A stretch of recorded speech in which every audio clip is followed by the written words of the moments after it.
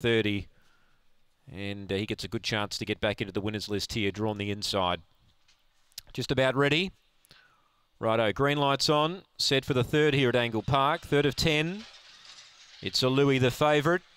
They're ready racing. Oh, it missed it a bit there, and springing out was Crazy Sal, led by three or four early.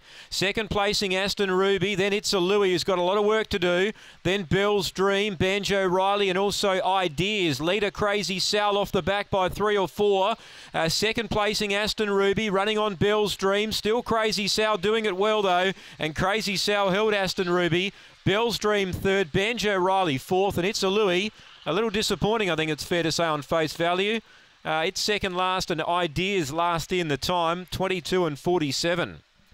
Number two, Crazy Sow for Karen Widoltz. She absolutely exploded out of the boxes. What's that early sectional? 363. Carved it out early. 708 the second split. 908 on the third run. 1339. To the winner, Crazy Sow. Eight second Aston Ruby and five Bell's Dream third. Four is fourth Banjo Riley and one fifth the favourite It's a Louis. Just missed the start. Never really looked likely at all.